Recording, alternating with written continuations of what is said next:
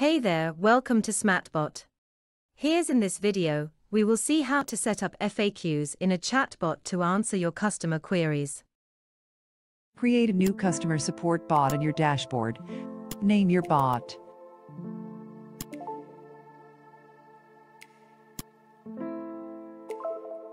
Next, create a flow for your bot. Select FAQ setup and remember to add it to the top of the flow. Add any number of options and relevant jumps to the flow.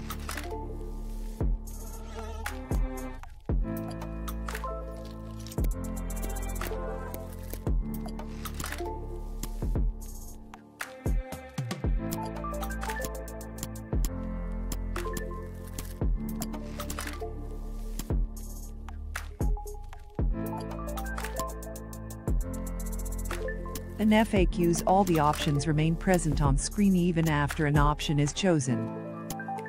Great, you have set up FAQ successfully.